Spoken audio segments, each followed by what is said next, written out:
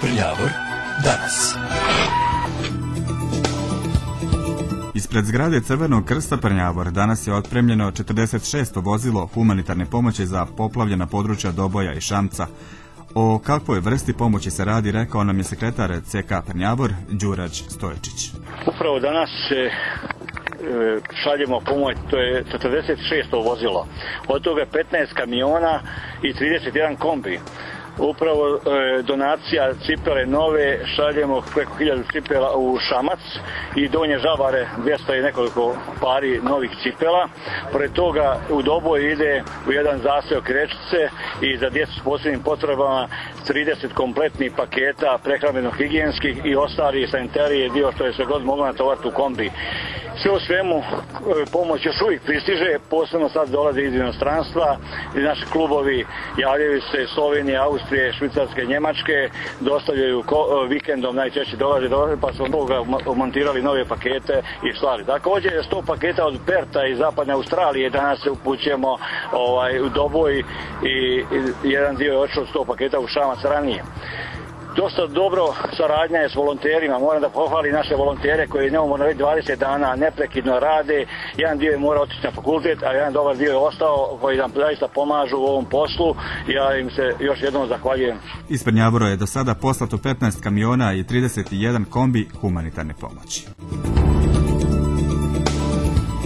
U opštinskoj boračkoj organizaciji u Prnjavoru počele su pripreme za organizaciju Vidovdanske olimpijade koja će 22. juna imati 18. izdanje. Jednodnevni susreti mladih iz nekoliko opština u Kulašima predstavljaju najznačajniji sadržaji na području naše opštine povodom proslave velikog srpskog praznika.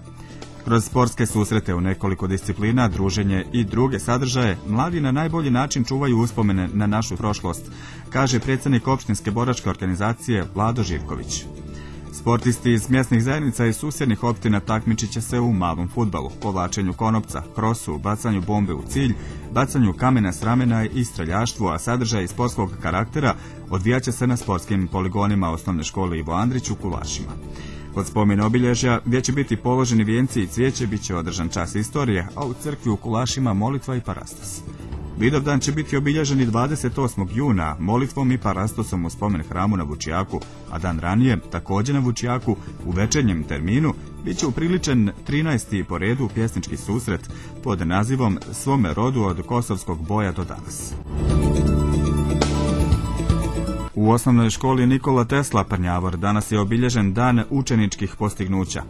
Direktor ove vaspitno-obrazovne ustanove, Vojne Gluvić, kazao je da je to bila odlična prilika da učenici pokažu sve svoje uspjehe tokom prethodne godine. Veoma mi je drago, ponosan sam, ovo je jedan od boljih dana u mom životu. E,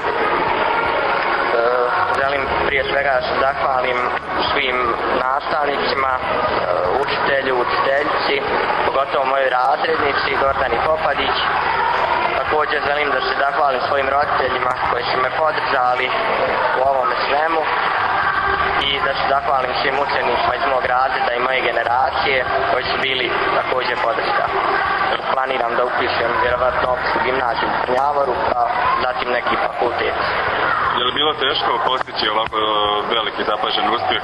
Pa bilo je teško, trudio sam se i trud na kraju spatio. Za učenika generacije osnovne škole Nikola Tesla proglašen je Marko Pezar.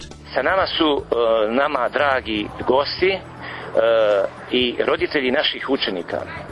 Ovo je prilika da e, djeca pokažu postignuća koje su postigli u ovoj školskoj godini. Moram da kažem da naši učenici su imali zapašene rezultate na opštinskom e, takmičenju, regionalnom takmičenju, republičkom takmičenju, pa bilo je i e, dva učenika na državnom takmičenju. Vi ste danas proglasili učenika generacije i Vukovci. Danas smo proglasili i učenika generacije i tri učenika su Vukovci. Učenici Vukovci su Jovana Marić, eh, Dragana Gavrić i Marko Pezer. Osnovnu školu Nikola Tesla Prnjavor trenutno pohađa 962 učenika. Ostalo nam je da čujemo i vremensku prognozu. U Republici Srpskoj i Federaciji Bosne i Hercegovine sutra se očekuje sunčano vrijeme sa malom do umjerenom oblačnošću. Poslije podne i prema kraju dana moguće su kratkotrajni lokalni pljuskovi. Najviša dnevna temperatura od 20 do 28 stepeni Celzijusovih. Trenutna temperatura u Prnjavoru je 23 stepena. Bile su ovo poštovani slušalci vijesti i emisija Prnjavor danas, izdanje za 3. jun 2014. godine. Hvala vam za pažnju i prijatno. Kontakt telefon Radio Prnjavora 051 660 881. Radio Prnjavor, vama na usluzi.